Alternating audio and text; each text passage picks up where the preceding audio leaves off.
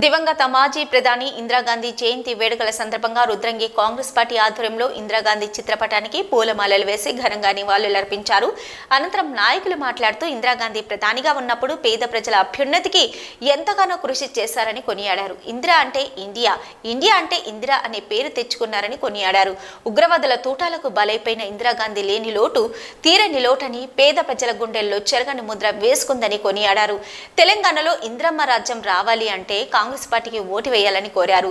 ఈ కార్యక్రమంలో మండల ప్రధాన కార్యదర్శి ఇప్ప మహేష్ బీసీసీల అధ్యక్షుడు గండి నారాయణ గ్రామశాఖ అధ్యక్షుడు సామమోహన్ రెడ్డి నాయకులు బైరి గంగమల్లయ్య ఎర్రం గంగనసయ్య పల్లి గంగాధర్ గంధం మనోజ్ పిడుగు లచ్చిరెడ్డి ధర్నా మల్లేశం అట్టపల్లి మల్లేశం మాడిసిటి అభిలాష్ ఇప్ప నరేష్ సనుగుల గంగాధర్ తదితరులు పాల్గొన్నారు.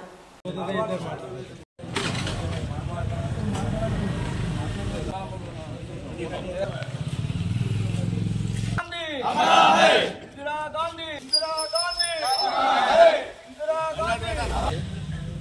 బడుగు బలహీన వర్గాలకు కొరకు అహర్నిశలు కృషి చేసి భారతదేశ ఔన్నత్యాన్ని ప్రపంచ దేశాల్లో పెంచుతూ భారతదేశం కొరకు తన ప్రాణాలను అర్- అర్పించిన మహామహిళ గారికి మేమందరం కలిసి కాంగ్రెస్ శ్రేణులం కలిసి ఆమెకు ఈరోజు జయంతిని జరుపుకోవడం జరిగింది. మళ్ళొక్కసారి ఇందిరాగాంధీ రాజ్యం రావాలంటే రాబో ఎలక్షన్లో తప్పకుండా ప్రజలు కాంగ్రెస్ పార్టీని ఆదరించాలి.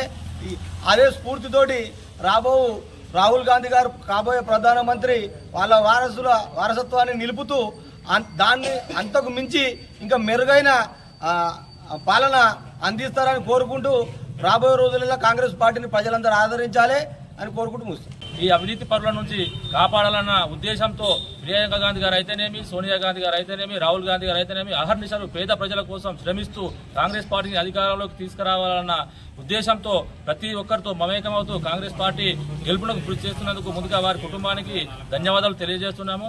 అదేవిధంగా ఈరోజు మహిళలు అంటే ఓన్లీ వంటింటికే పరిమితమని కాకుండా మహిళలు రాజకీయాల్లో రాణించాలన్న ఉద్దేశంతో కూడా ఆ రోజు ఇందిరాగాంధీ గారు కృషి చేయడం జరిగింది. ఆమె స్ఫూర్తితో శ్రీమతి సోనియా గాంధీ గారు కూడా వివిధ రాష్ట్రాల్లో మహిళలను ముందుకు తీసుకొచ్చిన అందరికీ తెలిసిందే. అదేవిధంగా ఈ రానున్న రోజుల్లో కాంగ్రెస్ పార్టీ అధికారంలోకి రావడం సత్యం. అందుకోసం కార్యకర్తలు నాయకులందరూ కూడా కృషి చేయాలని కోరుకుంటూ మరొకసారి ఇందిరాగాంధీ జయంతి సందర్భంగా వచ్చినటువంటి కార్యకర్తలకు నాయకులకు పేరు పేరున హృదయపూర్వక ధన్యవాదాలు.